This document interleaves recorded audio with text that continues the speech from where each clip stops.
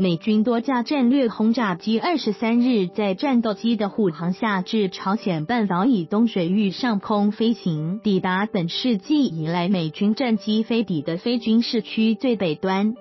美国国防部声明指出，美空军 B-1B 战略轰炸机从关岛美军基地出发，飞抵该水域上空；F-15C 战斗机从日本冲绳基地起飞护航。